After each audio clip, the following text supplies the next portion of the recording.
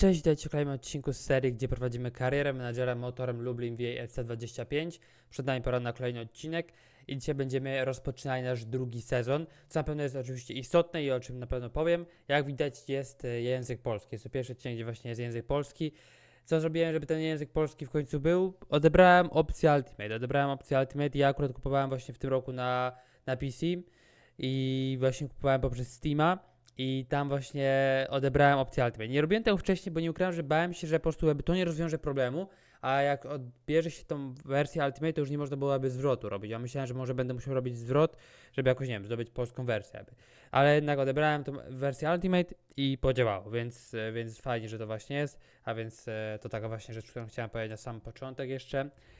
I w sumie to tyle, tak jeśli chodzi o początek. Teraz będziemy mogli rozpocząć. Jak dobrze wiemy, też w poprzednim odcinku zrobiliśmy no, fenomenalne wzmocnienia tak naprawdę. Mamy nowego napastnika, mamy nowego obrońcę środkowego, mamy nowego lewego obrońcę, mamy nowego bramkarza, mamy nowego rezerwowego skrzydłowego, akurat on jest na wypożyczeniu. Mamy nowego obrońcę. Więc naprawdę zrobiliśmy ruchy. Zrobiliśmy duże ruchy i tak jeszcze mam 4 miliony około jeśli się nie mylę. Mam dokładnie, tak, 4 miliony. Nie ukrywam, że jeszcze jeden transfer mam w głowie. Albo młody bramkarz, albo młody środkowy pomocnik, albo młody napastnik. Mam właśnie tam listę zawodników i tylko poczekam, aż raporty mi przyjdą. A teraz będziemy powolutku zbliżać się do pierwszego meczu w tym sezonie, czyli do meczu z Piastem Gliwice. A więc taki będzie nasz pierwszy mecz. No jestem bardzo ciekawy właśnie, jak nam pójdzie ta, e, jakby jak nam pójdzie tutaj ten sezon.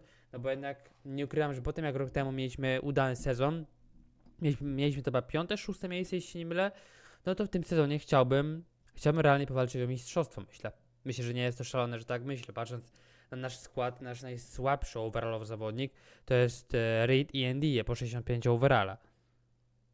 Mamy tutaj zawodników właśnie, którzy mają 78, dwóch dokładnie, Ryan Sting, e, Lindelof, więc naprawdę ekipa jest mocna. Zobaczymy tylko jak to będzie wyglądało. Pierwszy mecz tego sezonu remisujemy 1 do 1. Mogliśmy wygrać, Reyes nie trafił karnego i teraz nasuwa mi się takie pytanie, czemu Reyes robi karne w ogóle, bo wydaje mi się, że no on nie powinien tych karnych robić i to jest coś, co mogę, mam nadzieję, zmienić tutaj gdzieś.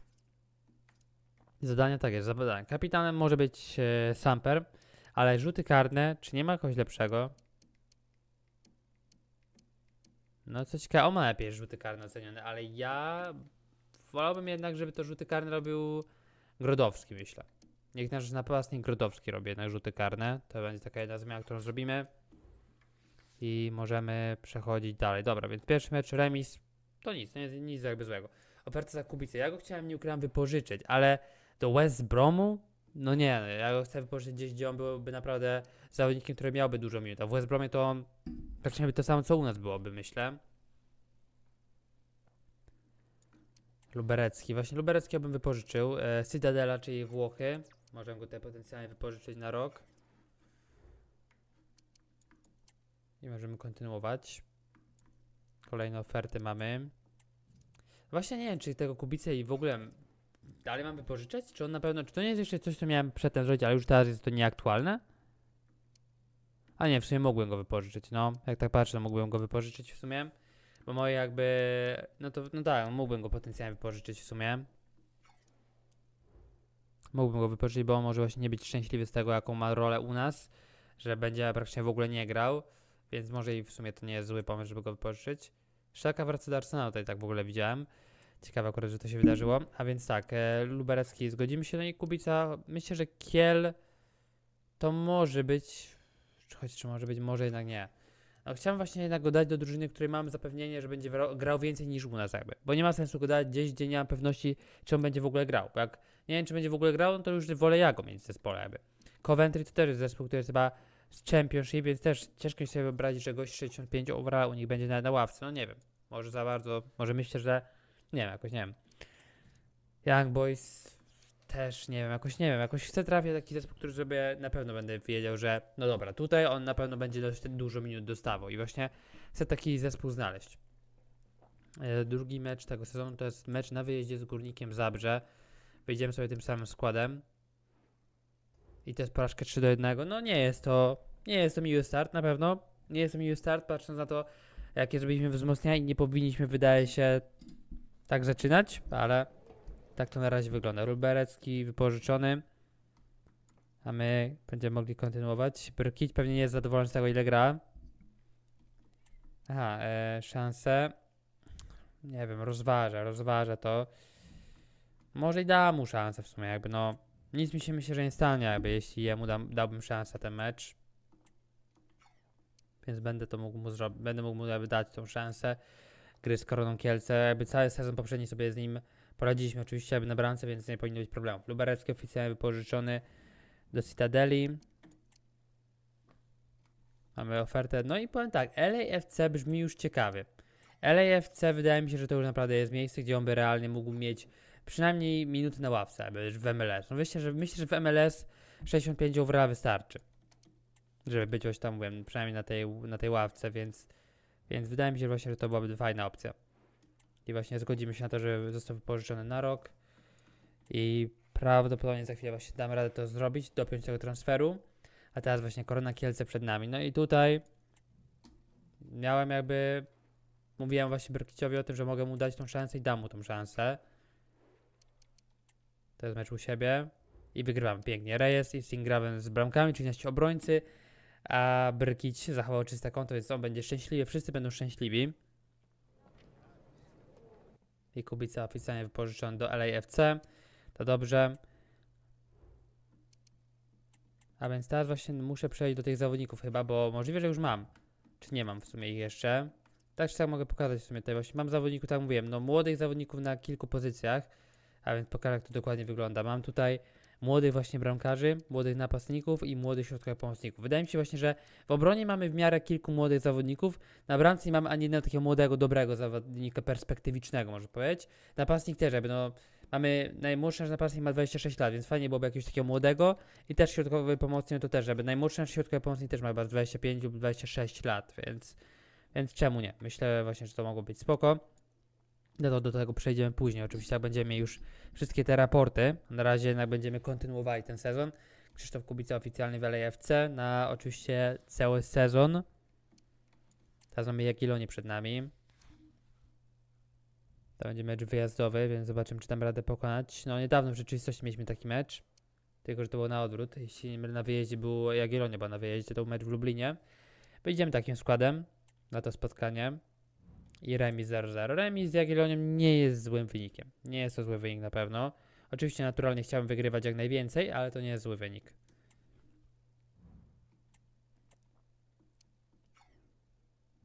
Mamy już 16 sierpnia, więc musimy czekać właśnie na spokojnie. Mam nadzieję, że za chwilę dostaniemy informacje o tych zawodnikach, żeby mieć te raporty jednak. Prawdopodobnie i tak tego zawodnika, którego podpiszę, od razu bym chciał wypożyczyć też, jakby, na, na, jakby na, od razu ten sezon. Nie ukrywam, taki jest mój plan, więc zobaczmy właśnie, czy mamy już to, czy nie jeszcze. I mamy prawie wszystko jeszcze. Eniomi i... A, ich zapomniałem. Ich zapomniałem, że w sumie przecież jakby nie dałem na nich raportów. Zapomniałem o tym. Ale kogo tak najbardziej powinien? Wydaje mi się, że jeśli chodzi o... Bo jak sobie patrzę właśnie, to jeśli chodzi o pozycję napastnika... Choć nie wiem w sumie. Bo bramkarzy mamy niby 78 overall, ale nie, jest, nie ma jakichś takich młodych bramkarzy u nas właśnie. I stanie. Najlepszym zawodnikiem tutaj jest Roberto, tylko że Roberto byłby pewnie ciężki do sprowadzenia. I Roberto w sumie byłby od razu najlepszym napastnikiem moim naprawdę, więc ja w sumie wtedy nie wiem, Mraz byłby wypożyczony, a Grodowski byłby na ławkę. Albo Grodowski jednak byłby wypożyczony i Mraz by został. Nie mam pojęcia, jakby to, jakbym to rozegrał, jakby ten Roberto styczeń teraz przyszedł. No bo on jest najlepszym zawodnikiem tutaj. Eniomi Rig nie pamiętam, właśnie to jest ten problem, że ja zapomniałem im dać, bo ja nie miałem już tych zawodników jakby tutaj. Nie miałem możliwości już e, więcej zawodników dać na raporty, może powiedzieć. Ale w sumie powiem tak, jakby e, w sumie nie muszę tego robić teraz.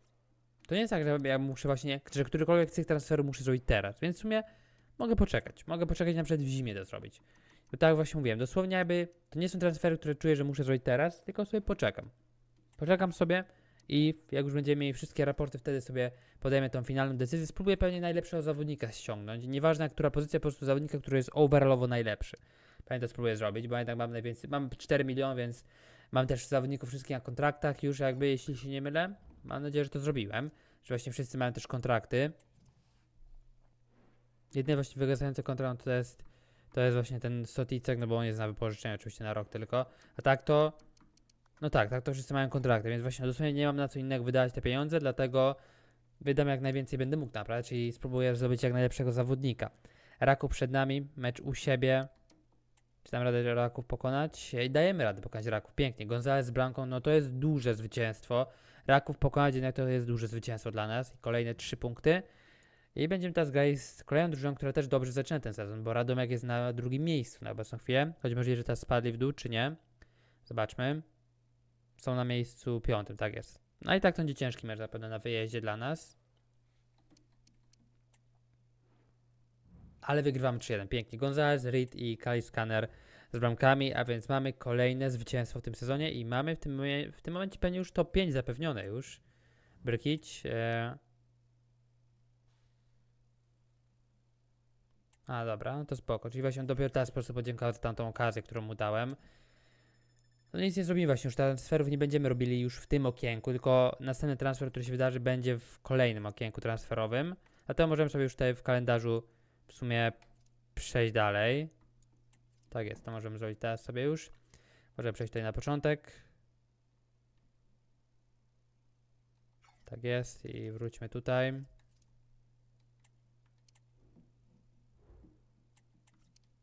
Przełożone spotkania i możemy iść dalej. Zagłębie przed nami to kolejny jest rywal ciężki. To na pewno będzie kolejny ciężki rywal do pokonania. A gram u siebie. Taki minimum remis i byłoby spoko, myślę. Aktualizacja roli Gonzales, który ma już 73 overa, super.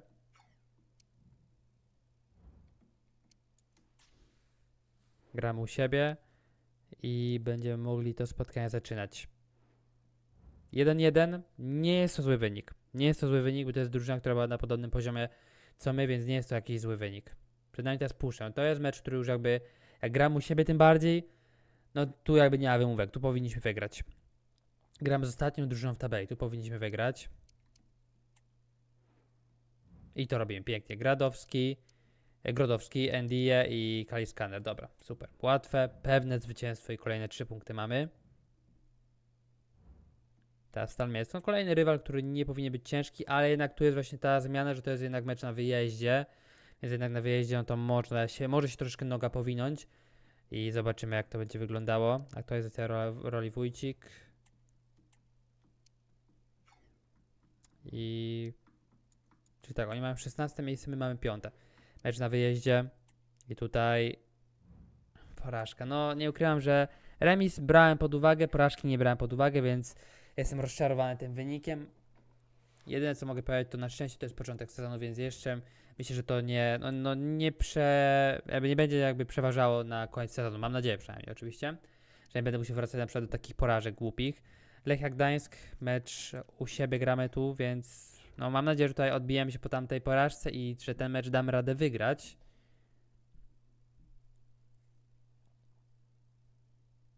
Zobaczymy jak to będzie wyglądało, więc mecz z Lechią Gdańsk u siebie możemy zacząć to spotkanie i wygrywam pięknie, 3 do 2, czyli tak samo jak przegraliśmy ze Stalą z takim samym wynikiem, tym razem to my wygrywamy i wygrywamy tutaj właśnie spotkanie u siebie. Kolejny rywal to Widzew Łódź. Widzew był rok temu, jeśli się nie mylę, mocny, albo tylko właśnie cały czas mylę, bo ja w tym samym momencie prowadzę karierę zawodnika i karierę menadżera w Polsce. E, Karierę menadżera Lublinem, a kariera zawodnika jestem właśnie tam w GKS i jakby mylę kto gdzie był mistrzem i kto gdzie był dobry, można powiedzieć. Dobra, piąte miejsce w tabeli. Mamy. Nie wiem ile kolejek za nami, jakieś 7, 8, 10, nawet 10 kolejek i na obecną chwilę na pierwszym miejscu Lech Poznań. Jeśli wygramy, mamy 27 punktów, 5 punktów tylko straty, więc jeszcze Lech nie uciekł na pewno. Ale próbuję uciec Lech Poznań. Ciężki mecz na wyjeździe z Widzewem. Ale wygrywamy. Duże zwycięstwo. Grodowski daje nam to zwycięstwo. Bardzo duże zwycięstwo na wyjeździe. Teraz GKS. No to jest zespół ostatni w tabeli. Takie, e, takie jakby mecze, no musimy wygrywać. U siebie z najgorszą drużyną jak na razie tego sezonu musimy wygrywać takie mecze.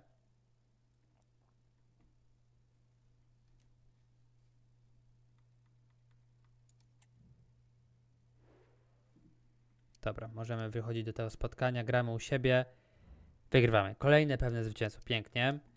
Singrawem dużo strzela, widzę naprawdę. Jak na lewego obrońcę bardzo ofensywnie można powiedzieć, że gra, skoro aż tyle bramek strzela. Teraz pogoń na wyjeździe. Aktualizacja roli raz. Jeszcze też tam miałem jakąś wiadomość, chyba kruk. Co on tutaj kruk chce? Muszę grać częściej. Dobra, dostaniesz szansę gry, a nawet i w tym meczu z Pogonią może. Skoro tak właśnie, skoro chce zagrać, może dostać szansę z Pogonią.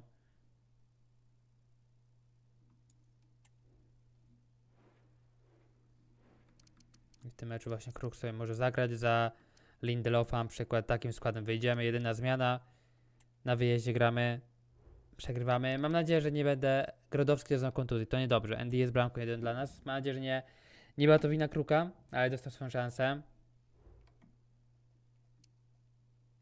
Jak poważny teraz, tak, nie przeczytałem wiadomości, muszę grać częściej Wolski też, dobra. A, to, to zostaje zdjęty, no to jest, nie, nie, nie możesz być złe to, że zostaje wiem, no to jest normalna rzecz. Na ile wypadł z powodu kontuzji nasz napastnik? To jest coś, co dla mnie jest teraz istotne.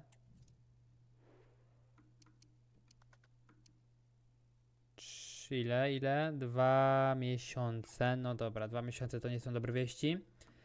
E, tak w ogóle transferować, tak, przejdźmy do tego. Więc najlepszym zawodnikiem overallowo, bieg do overalla, najlepszą opcją jest albo zakup tego bramkarza, albo zakup napastnika. Ten jest droższy. Tego pewnie nie zakupię. Zobaczmy. Poga pogadam, ale wątpię, że dam radę go zakupić, bo ma wa wartość większą po prostu. Więc no właśnie, jakby nie mam zbytnio szans. No właśnie. A może jednak mam szansę w sumie, jednak widzę, dobra. Może być, może być, możemy się na to zgodzić, możemy się na to zgodzić, a więc Agustin Roberto może być naszym nowym napastnikiem i w taki sposób też e, nie chciałbym sprzedać Mraza, ale będę musiał kogoś wypożyczyć, Mraza albo tego Grodowskiego. Sam nie wiem kogo, chyba Grodowski, zobaczę w sumie znaczy jedną rzecz, będę musiał sprawdzić kto jakie ma rolę w zespole. Tylko teraz, czy ja będę mógł go finansować, jakby jeśli chodzi o kontra, będę mógł, dobra, a więc Agustin Roberto jest naszym nowym napastnikiem, tak jest, Agustin Roberto jest naszym nowym napastnikiem i on od 1 stycznia będzie naszym nowym graczem. Dobra, więc e, wyrzucamy tych napastników, a tych sobie pomocników i bramkarzy zostawimy jeszcze na przyszłość potencjalnie. I no tak mówię, muszę zobaczyć jedną rzecz. Co, mam, co oni tutaj mają obiecane? A więc Mraz ma ważny, Grodowski ma też ważny. Wydaje mi się, że Grodowski może być bardziej zły yy, z tego względu, że on by, był na ławce, jakby takie mam wrażenie. Plus też jakoś no nie wymiata, może powiedzieć. 16 meczów, 5 bramek. Mraz 3 mecze, 2 bramki. Jakoś no do Mraza mam większy sentyment przez to, że u nas grał, dlatego myślę, że właśnie Grodowski pójdzie na wypożyczenie, jak tylko wróci po kontuzji. A właśnie Agustin będzie naszym nowym podstawowym napastnikiem od, od y, stycznia. Na razie będziemy właśnie, do stycznia będziemy musieli grać Mrazem jako naszym napastnikiem. Teraz mam Śląsk Wrocław. Śląsk jest na miejscu siódmym, więc może to być ciężki mecz na pewno. A więc Mraz tutaj zagra, tak jest. I tutaj będzie oczywiście Welniak. Yy, Wolski za chciał zagrać. Dobra, Wolski zagra za Sampera. I remis 1-1. Ledwo co zgarnęli ten remis. Ortiz tam wyrównał pod koniec meczu.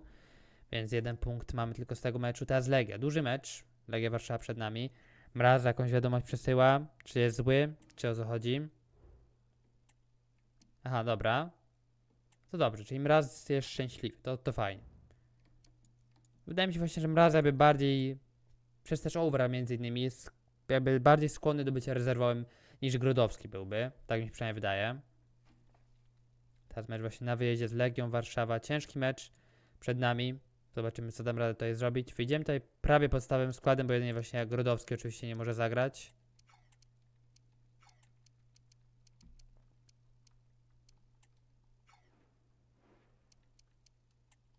Ten mecz na wyjeździe przegrywamy niestety. No szkoda, szkoda, bo jednak właśnie no cały czas jakby jednak nam coś brakuje niestety w tych dużych meczach, mam wrażenie.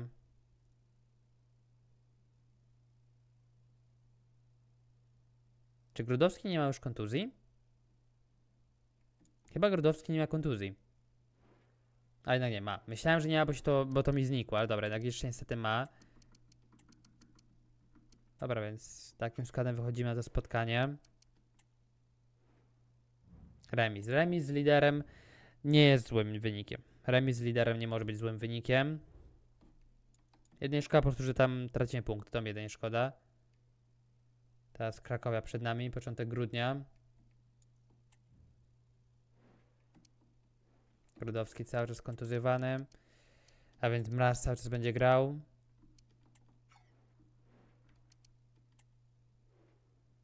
Wygrywamy. Dobrze. Gonzalez z bramką. Potrzebowaliśmy trzech punktów, bo było kilka meczów z rzędu bez kompletu punktu, bez zwycięstwa i w końcu tu mamy. Lechia Gdańsk przed nami teraz. Wolski może grać? Tak, właśnie Wolski może w końcu grać jako środkowy pomocnik. To dobrze. Naprawdę fajnie.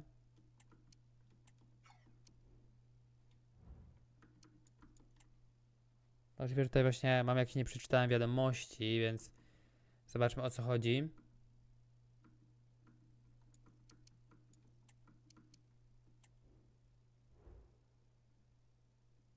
Chyba to już są jakieś właśnie... A nie, już nie mam. Chyba się spóźnię troszeczkę, bo ktoś coś pewnie do mnie chciał, jakby ode mnie chciał. Ale już nie wiem. Dobra, na razie tak. Kardowski jest zmęczony. Dobra, myślę, że tak. Soticek dostanie szansę gry. Widzę, że on może zagrać.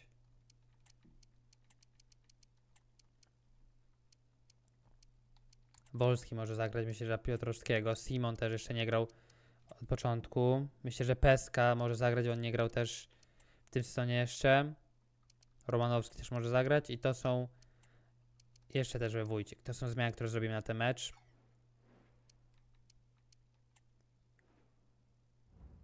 No remis. Remis 1-1. Myślałem, że wygramy.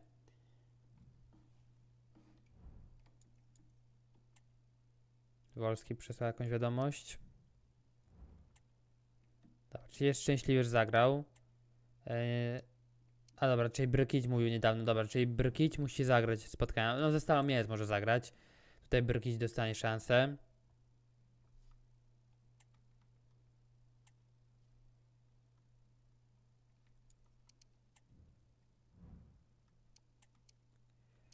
Myślę, że będą ważniejsze mecze. Miałeś właśnie tą okazję.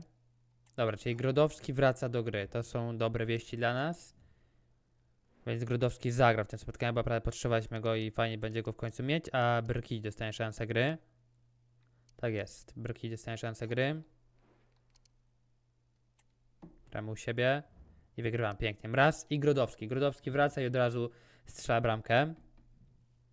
Czy ja go wystawiłem na, na listę, czy nie? Nie pamiętam właśnie. A muszę to zrobić. Dobra, jest jednak na liście, to fajnie. I teraz Lech Poznań. Kolejny raz mecz z Lechem Poznań. To dobrze w sumie, że będziemy mieli już to z głowy, nie ukrywam. Choć nie, to w sumie będzie jeszcze, dłu- jeszcze długo do tego meczu, bo teraz mam tą przerwę.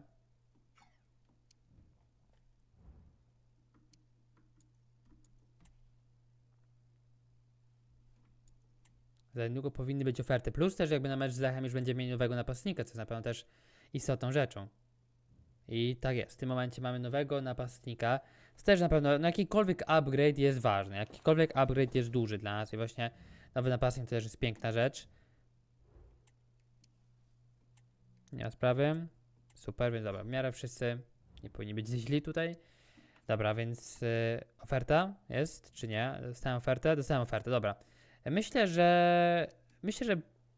Choć nie, Heineken to jest zespół, który w rzeczywistości jest w Bundeslidze. Ja bym jednak wypożyczył do zespołu właśnie.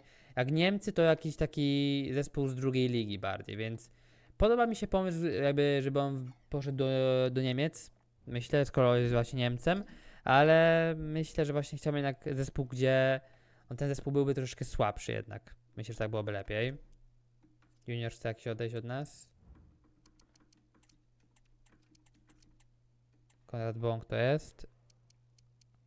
Możemy go wziąć, w sumie czemu nie? Możemy go wziąć do seniorów.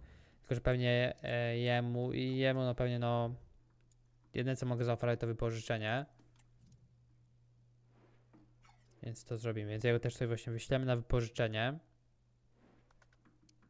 Roberto ma już 72 overall, super. Jak go kupowałem, oczywiście miał jeszcze mniejszy overall. Dobra, więc tym bardziej się cieszę, nie ukrywam, że ten Roberto jest u nas. Teraz tutaj będzie Roberto. I tak jest, będzie jedna zmiana, a więc nasz atak wygląda jeszcze mocniej. I kolejny to jest właśnie zawodnik, który przekracza próg 70 plus overalla jakby w zespole. Już większość zawodników, jeśli się nie mylę, większość, tak, większość u nas zawodników ma 70 overalla niż nie ma już, więc też na pewno taki fajny moment. Fajne by może być pułap, na które wszedliśmy, na który weszliśmy. No myślę, że Anderlecht też troszeczkę za mocny zespół. To nie, muszę wyczuć ten zespół, którym będę czuł, że to jest, ten, że to, jest to odpowiednie miejsce. Czy ceglarza chcę sprzedać? Szczerze wydaje mi się, żeby te pieniądze mi się już nie są już potrzebne, a niech zakończył nas karierę w sumie sobie, więc więc nie. Eee, Spaniol to jest kolejny mocny zespół. To jest kolejny mocny zespół. Berlin, no kolejny zespół. No naprawdę, czy żaden słabszy zespół nie chce się zgłosić? Aferta Bong, no Frosinone wydaje się też ciężką, jakby, żeby się tam przebił jakkolwiek, więc wątpię, że to chciał zrobić. No to już jest ciekawsza jakby droga. Hammarby, Szwecja, to myślę, że już jest ciekawsza opcja. Nawet bym go na dwa lata wypożyczył w sumie. Zobaczymy jak to będzie wyglądało, czy dam radę to zrobić, czy nie. Jeszcze oferta od e, druga liga francuska też nie byłaby to zła opcja.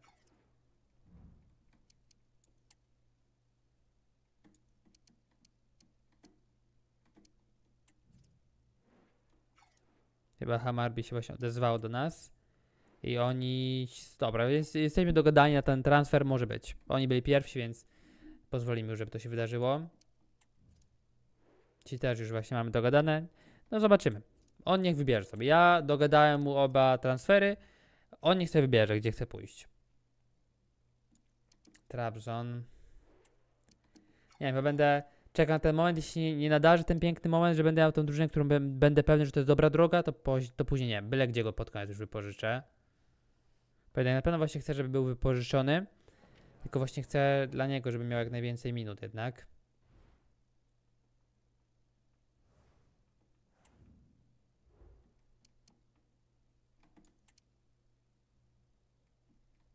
Genoa. No nie wiem, pierwsza liga włoska, czy mi 68 overall gość byłby u nich w składzie nawet, jakby nawet na rezerwach, nie wiem. Cały czas właśnie nie mogę znaleźć takiego jednego ruchu, który mi mega się po prostu podoba. Dobra, więc mecz teraz z Lechem Poznań. Duży mecz przed nami, oczywiście ligowy. Roberto, Roberto, tak, Roberto debiutuje w tym spotkaniu oczywiście, co jest na pewno też istotne. I możemy przechodzić do tego meczu na wyjeździe. Niestety porażka, niestety porażka Poznaniu. Leeds z czerwoną kartką. Szkoda, boli ta porażka. Boli bardzo mnie ta porażka, bo byliśmy w stanie zrobić więcej w tym meczu na pewno. Teraz Legia przed nami.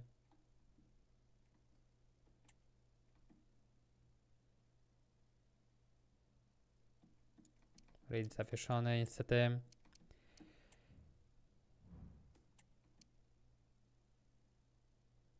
A, on to sam, dobra.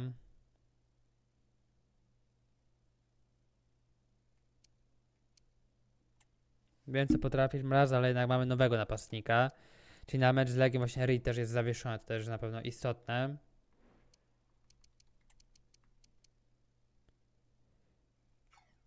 Czy ktoś tutaj potrafi grać na prawej obronie? Nie ukrywam, że jednak może bym kogoś mocniejszego na taki mecz dał.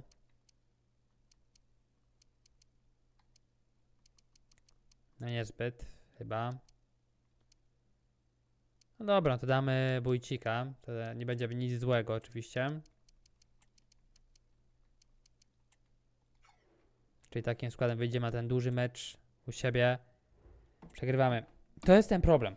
To jest ten problem, który my mamy. Niestety nie wiem czemu. Pomimo, że wydaje się, że my już składowo wyglądamy na tyle mocno, no to nie umiemy sobie radzić niestety z tymi mocnymi drużynami. To jest coś, co jest problemem właśnie dużym u nas. I to mnie boli właśnie, że nie możemy jakoś pokonać tych mocnych drużyn. Czekamy, czy jakikolwiek transfer tego Grodowskiego to się teraz zgodzę. Nieważne, gdzie byłaby ta oferta wypożyczenia, tylko nie wiem, czy właśnie dostajemy jakieś, jakiekolwiek oferty, czy nie. No nie właśnie, czy to, czy zobaczymy jakąś ofertę, czy nie.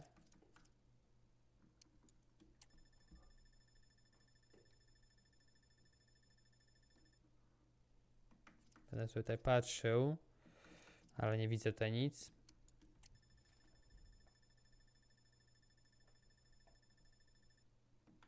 Sześć godzin. Mało już czasu na te transfery. Chciałem właśnie mu znaleźć jak najlepsze miejsce i możliwe, że skończy tak, że jednak niestety nigdzie nie odejdzie. No i to będzie problem. 4 godziny już tylko do końca. No niestety żadne, nagle żaden zespół nie, rob, nie daje ofert. Nagle wszyscy zapomnieli. Tyle ekip przedtem się rzuciło na Grodowskiego, żeby go podpisać i teraz nagle nikt już nie chce. No, dwie godziny do końca zostały już tylko.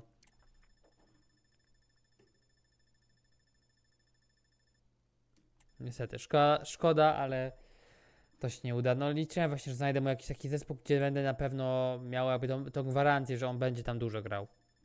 Jak żaden z tych zespołów mnie nie przekonywał mega. E, no teraz nagle przyszła mi oferta, dobra. Teraz mi nagle przyszła oferta. Teraz nie ukrywam, że no nie daje mi to nic. Teraz mi to nic nie daje, nie ukrywam. Teraz mi to dosłownie nic nie daje, bo jest po prostu za późno na to. Mamy już luty, więc jest za późno. Więc Radomiak u siebie gramy z nimi. No. Powiem tak, gram aż zdobędę 3 punkty. Ten odcinek się zakończy, jak zdobędę 3 punkty. Mam nadzieję, że to będzie tutaj i teraz. I tak jest, pięknie. Lindelof daje mi 3 punkty i będziemy kończyć odcinek. Super, że udało się tutaj wygrać. Raku będzie przed nami. No dobra, to będzie ciężki mecz. Dobra, Brek idzie szczęśliwy, to super. Powiem, że właśnie grał tam, nie wiem kiedy ostatnio.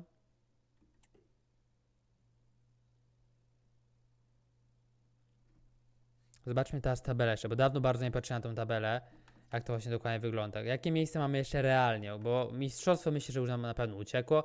O co realnie możemy jeszcze walczyć?